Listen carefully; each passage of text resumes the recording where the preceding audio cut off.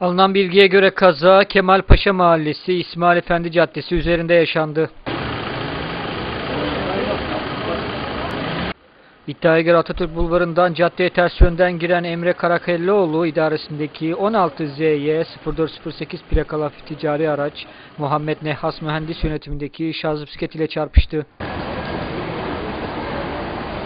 Çarpışmanın şiddetiyle yere savrulan 48 yaşındaki talihsiz sürücü yaralandı.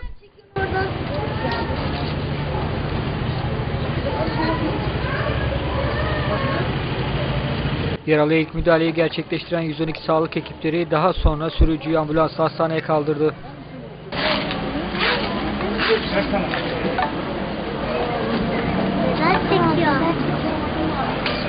Kaldıralım. Kaldıralım. Tamam.